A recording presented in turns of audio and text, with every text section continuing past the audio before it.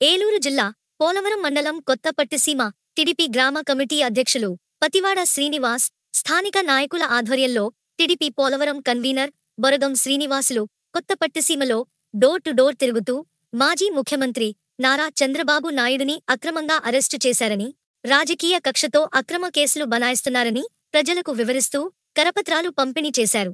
బాబుతో నేను భవిష్యత్ గ్యారంటీ కార్యక్రమం చేస్తున్న టీడీపీ నాయకులకు విశేష స్పందన లభిస్తుంది.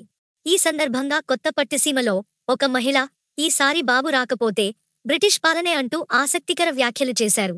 ఈ కార్యక్రమంలో టిడిపి మండల పార్టీ అధ్యక్షులు బొడ్డు కృష్ణ మండల ప్రధాన కార్యదర్శి నులకాని రాంబాబు మండల తెలుగు యువత అధ్యక్షులు పెద్దేహపు సత్యనారాయణ గ్రామ కమిటీ అధ్యక్షులు Prathivada Srinivas SC cell president Pilli Nagaraju Pothula Srinu Jallepalli Jitendra ఆకుల రాజా తదితరులు పాల్గొన్నారు.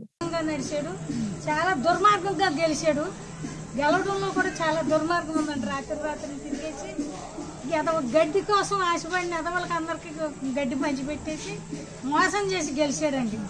గెలిచాడు. నేను ఆడి మాట నేను వినలేదని నన్ను చాలా తిప్పలు పెట్టాడండి. చాలా మోసం పైన జగన్మోహన్ రెడ్డి ఎలా ఉన్నా కింద కూడా అదే ప్రభుత్వం. నాకు అదే ప్రభుత్వం. అలాగే నన్ను అక్రమ కేసుల్లో నిరికించి అక్రమ కేసుల్లో అక్కడ ఎలా చాలా బాధ పెట్టాడండి. ఇబ్బందులు మరి అర్థం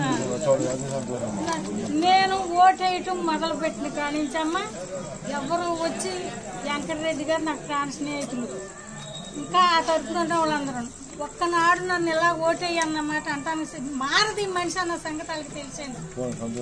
నేను మాత్రం నా ప్రాణం ఉన్నవాళ్ళు ఎటైనా మారిపోవచ్చు. చెప్తున్నానండి అసలు మీరంటే మీరు కాదు.